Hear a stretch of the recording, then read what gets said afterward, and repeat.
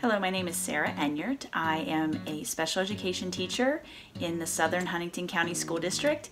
I teach at Shade Gap Elementary in Shade Gap, Pennsylvania, and I am so honored to be a National Liberty Museum State Farm Teacher Hero Award recipient. The first thing that came to my mind when I got over the shock of, of something of this magnitude was um, just how nice and reaffirming it was to be recognized that in this profession and that the work that I'm doing uh, is important.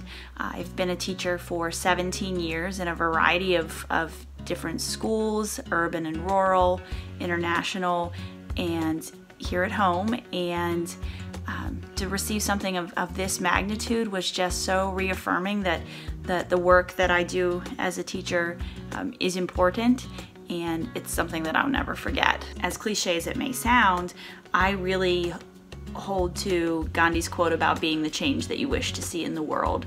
My school is, is in a very rural area. Uh, we're a very small school, about 112 kids, grade K through 5, and because we're so rural and isolated, um, there aren't you know necessarily some of the services or things available that you would find in a bigger a bigger area.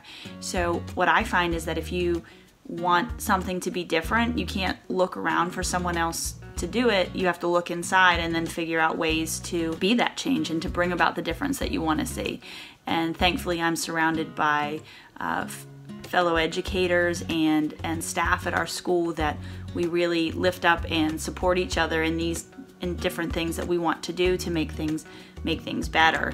So I think it's easy when you know there's lots to be done so there's lots of ideas and then you're surrounded by people that have the same sort of belief as you and are motivated to do um, ultimately what's best um, to make the educational experience better for the children.